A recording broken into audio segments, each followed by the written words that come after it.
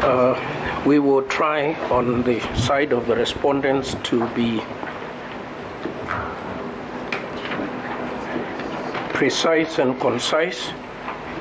Let me start off by thanking uh, Dr. Ogada and Mr. Ongoya for their very kind remarks about the small role I have played in the development of our constitution and the law.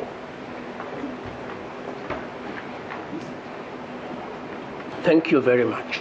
I also want to thank Counsel for the civility that has been observed in uh, the presentation of this matter, and I do hope that uh, the respondents will also remain civil so that uh, we extend uh, the proper respect that the court deserves.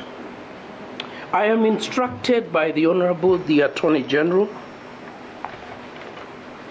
a very eminent Dorcas Oduor, our first female Attorney General,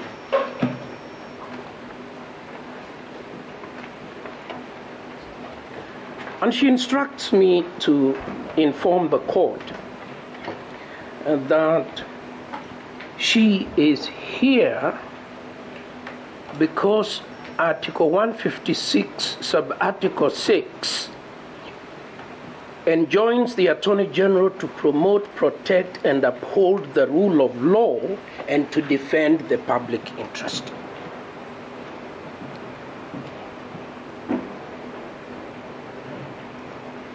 The people of Kenya have a public interest in the maintenance of a stable government and in the protection of the sovereignty of their republic. And that republic is underpinned by having continuity in the institutions of government, be they the legislature, be it the judiciary, or be it the executive. We shall be submitting that the public interest is in favor of an expeditious disposal of matters that affect the continuity of government and that imperil the stability of the state.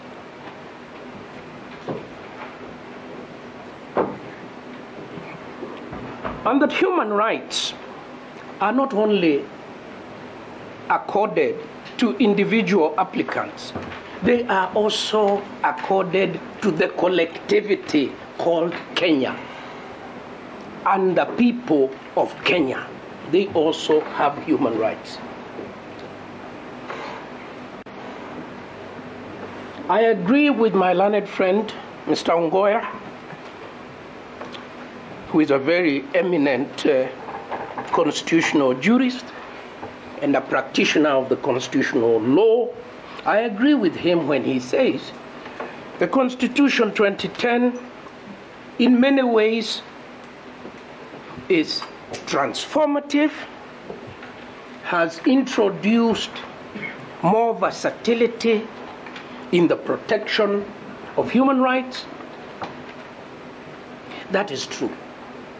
I also agree with him when he says that the Constitution must be construed in a manner to give full effect and protection to the rule of law and to human rights.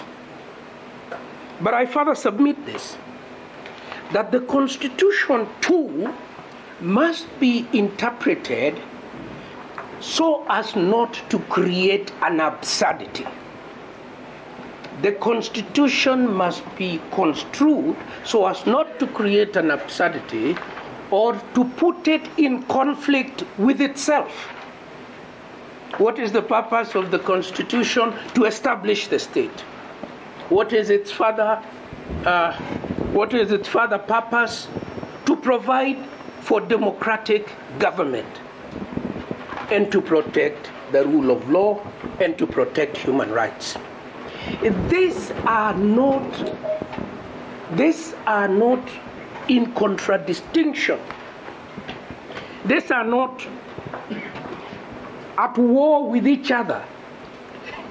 A stable government, a sovereign people, and human rights are not in conflict with each other. They are in harmony. It is the work of the court to interpret in order to create that harmony. When the court is, is, is invited to interpret the Constitution so as to create an absurdity, it must refuse to do so. This afternoon, you are being invited to interpret the Constitution to create an absurdity. Why is it an absurdity? The Deputy Chief Justice of the Republic of Kenya can swear in the President of the Republic of Kenya into office. What a huge power. What a huge authority. The Chief Just, the Deputy Chief Justice of the Republic of Kenya can empanel a panel of judges can uh, sorry can empa- uh, can appoint a tribunal to remove the president from office. What a huge responsibility. What huge authority. But wait a minute. The Deputy Chief Justice cannot assign duties to judges. Pray, my lords. What then does the Deputy Chief Justice deputize? What does she deputize? In many jurisdictions, like those referred to by the distinguished counsel on the other side, in many jurisdictions, including the United States, there is no office of Deputy Chief Justice. In the Supreme Court of the United States, there is the Chief Justice and Associate Justices. In Kenya, the drafters of our Constitution, and if I may say so myself with a bit of humility, I was one of the draftsmen. Knowing that in other countries there was no office of deputy chief justice, decided in Kenya there shall be an office of chief justice to deputize the chief justice. In doing what? I'll be very brief. That is to be found in the Constitution itself and in the in the statute. And uh, uh, I think uh, I will read my, I will leave my learned friend, Ms. Mr. Ngubo, Gobo, to deal with that. But let me, in the two minutes I've been granted by this gracious lady, make one point, two points. Beneficiaries of ex parte orders stand before this court and say, only they are entitled to ex parte orders. They are here to, to complain that they went before Judge Mongo, they went before Judge Muita, they got ex parte orders with finality, and that was okay. But when the Attorney General went ex parte, and all her prayers were refused, except the prayer to send the matter to the Chief Justice, she was wrong. How is that possible? My lords, I want you to remember, because it is in your file, the transmission from Kirinyaga is in the portal. Unless my learned friends are saying they have never seen the portal itself. Yeah? The registrar in Kirinyaga, Honorable Wanyama, writes a letter, yes, saying, Good evening, kindly find attached the document for your attention. It has a time to the Chief Justice, it is on the 18th, uh, and it is for, it is 1545. It is 345 in the afternoon.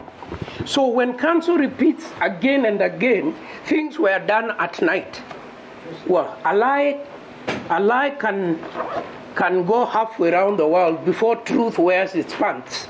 It is not true. It is not true. The registrar sends the order at 3:45 in the afternoon.